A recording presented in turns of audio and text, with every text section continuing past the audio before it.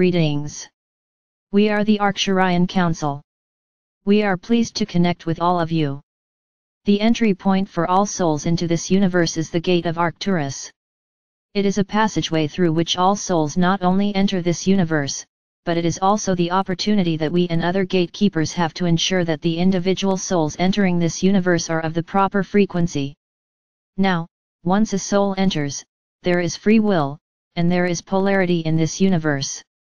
So some souls choose to play on the side of darkness, and more souls choose to play on the side of the light.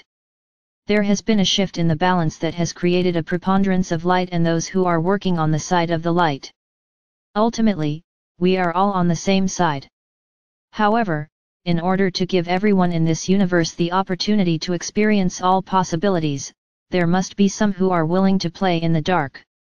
Now the coming together of the light and the dark brings us all to a new position. The position that we are all striving for in this universe is to see dark and light as not enemies or opposites, but differences and different choices. We know you are all choosing to be a part of the movement of light in this universe, and we also know that in order to do this many of you are facing the darkness within you. We applaud you for that. We applaud you and we support you in knowing yourselves more fully.